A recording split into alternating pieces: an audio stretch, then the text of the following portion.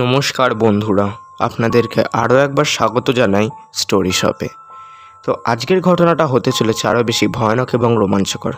ঘটনাটা ঘটেছে আমার মাস্তুতো দাদার সঙ্গে এবং আর একজনের কথা না উল্লেখ করলেই নয়, তিনি হলেন আমার মাস্তুতো দাদার প্রিয় বন্ধু সৌরভ দা। আমার মামার বাড়ির পাশে এক জায়গায় খুব হন্টেড প্লেস আছে, অর্থাৎ ওখানে একটা ভুতুরে বাড়ি আছে যেখানে লোকেদের ধারণা যে কেউ নাকি ওখানে আত্মহত্যা করেছিল। এই জন্য ওখানে সচরাচর কেউ যায় না। তা আমার আহ, মাস্তুতো দাদা এবং তার বন্ধু সৌরভ একদিন ঠিক করে যে রাত্রিবেলা ওই এরিয়াতে যাবে। এবারে দাদা সৌরভকে দুপুরবেলা বলে রাখে যে এরকম রাত্রি ঠিক নটা বাজলেই তুই এরম বটতলা নামের জায়গাটাতে চলে আসবি আমি আর তোকে ফোন করব না। পরবর্তী সময় দাদা বটতলায় এসে অপেক্ষা করে নটা কুড়ি বেজে যায় তাও আসে না। এবং ঠিক ফোন করতে যাচ্ছে। সেই সময় সৌরভ দা এসে হাজির হয় দাদার সামনে বটতলা নামে একটা জায়গাতে, আমার মামা বাড়ির ওখানে। এবং তারপরে ওরা ওখান থেকে রওনা দেয় সেই হন্টেড প্লেসের উদ্দেশ্যে। তারপরে ওরা জায়গাটাতে প্রবেশ করে। বাড়িটা দেখতে আকাশে হলুদ রঙের। ওখানে আশেপাশে কোনো লোকজন নেই। পুরোপুরি খালি পুরো এরিয়াটা ওখানে মানে বাড়ির ঠিক সামনে একটা কাঠের দরজা আছে, ঠিক মানে কাঠের একটা দরজা বেশ ঘুম টুন পড়ে গেছে, খুব খারাপ অবস্থা। ওই দরজাটাকে ওরা কোনো রকমে খুললো, খোলার পরে ওরা আশেপাশে চারিদিকটা একটু ভালো করে পর্য- পর্যবেক্ষণ করে দেখল। এবং চারিপাশে দেয়াল টেয়ালগুলো ভাঙা, আশেপাশে ওখানে অনেক মানে বল পড়ে রয়েছে। অনেক বলতে কি দু একটা পড়ে রয়েছে, ক্রিকেট খেলার বল হোক বা অন্যান্য বল হোক। মানে এর থেকে বোঝা যাচ্ছে, বাচ্চারা ওখানে মানে বলটা পড়ে গেলে আর পুরোনো নিতে আসে না বলটা, ফেরত নিতে আসে না। এরকম অবস্থা। পাশেই রয়েছে একটা মাঠ, ওখানে বাচ্চারা খেলে। পাশে বলতে তাও কিছুটা দূরে। এবং চারিপাশে দেয়ালগুলোর মধ্যে গাছপালা বেড়ে উঠছে। গাছপালার শিকড় গিয়ে দেয়ালটাকে পুরো খারাপ করে দিয়েছে। ওখানকার ঘাসগুলো উঁচু উঁচু। সে সাংঘাতিক অবস্থা জায়গাটার। ওখানে কোনো মানুষ মানে ওর আশেপাশে মানুষ থাকে না বলে বোঝা যাচ্ছে। ওখানে কিছু বাদুর আছে বাড়ির ভেতরে। তারপরে ওরা ধীরে ধীরে বাড়িটার ভেতরে প্রবেশ করে। এবং ভেতরে প্রথমেই যেটা লক্ষ্য করে হলো গাছপালা এইভাবে দেয়ালের মধ্যে অদ্ভুতভাবে জন্মে রয়েছে। তারপরে কিছু বাদুর উড়ে যাচ্ছে। আলো পড়লেই বাদুরগুলো চিচি চিচি করে উড়ে বেড়াচ্ছে। সে খুব ভয়ানক অবস্থা।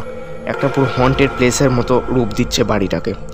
তারপরে বাড়িটা ঘুরে ওরা তেমন কিছু পায় না। বাড়িতে স্বাভাবিকভাবেই কিছু থাকার কথা নয় সব কিছু ভাঙা আসবাবপত্র অবস্থা খুব খারাপ। এবং তারপরে ওরা বাড়ির পিছন দিকটা মানে পিছন না, ঠিক সাইড দিকটা, বাগানটা ঘুরতে যায়। ঘাস সেখানে খুবই বড় বড়। ওরা খুব ভয়ে ছিল যে ওদের পায়ে ঝোঁক টোক না উঠে যায়, কারণ তার আগেই বৃষ্টি হয়েছিল। এবং তারপরে ওরা ওখানে হাঁটা, অনেকক্ষণ ধরে হাঁটাহাঁটি করে, তবে ওরা তেমন কিছুই পারছিল না। একটা জিনিস সব থেকে বেশি অদ্ভুত ছিল, যে ওরা ওখানে রজনীগন্ধার গন্ধ পাচ্ছিল। কিন্তু ওরা ভালো করে জানে এবং ওরা দেখেওছে আশেপাশে কোনো রজনীগন্ধার গাছ নেই, কোনো গাছ নেই ওখানে। ওরা ভাবে যে কি জানি কিসের থেকে রজনীগন্ধার গন্ধটা আসছে, দুজনেই পাচ্ছে। এবং আমার দাদা স্বাভাবিকভাবেই একটু ভয় ভয় ছিল।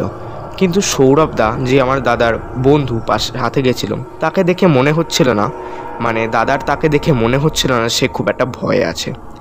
এবং তারা ওখানে অনেকক্ষণ ধরে ঘোরাফেরা করে কথাবার্তা বলার পরে তারা অনুভব করতে পারে যে কিছু একটা যেন তাদের পিছন থেকে মানে হাঁটাচলা করছে। এবং তারপরে ওরা পিছন দিকে তাকিয়ে দেখে একটা কালো কুচকুচে একটা বিড়াল। এবং এই বিড়ালটাকে দেখে ওদের গা শিউড়ে ওঠে। এবং তারপরে ওরা ওই বিড়ালটার দিকে তাকানোর পরেই আমার দাদা যেই আবার নিজের বন্ধু সৌরভের দিকে তাকাতে গেছে, তাকিয়ে দেখে আমার দাদা বন্ধু সৌরভ ওখানে নেই। এটা দেখে আমার দাদার খুব মানে ওইখানে একদম মানে ফেটে গেছিল যাকে বলে। তারপরে দাদা ওখানে নিজের বন্ধুকে না খুঁজে পেয়ে চারিপাশটা ভালো করে খুঁজে দেখে। খুঁজে তা ওকে পায় না। ওকে প্রচুরবার হাঁক দেয় যে, সৌরভ সৌরভ, তুই কোথায়? ওকে না পেয়ে দাদা আবার ওখান থেকে ফেরত চলে আসে। ফেরত চলে এসে কোনো রকমে বাড়ি অবধি পৌঁছায় এবং তারপরে ওর বন্ধুকেও ফোন করে যে, তুই কোথায় ছিলিস? তুই ওখানে থেকে কোথায় পালিয়ে গেলি?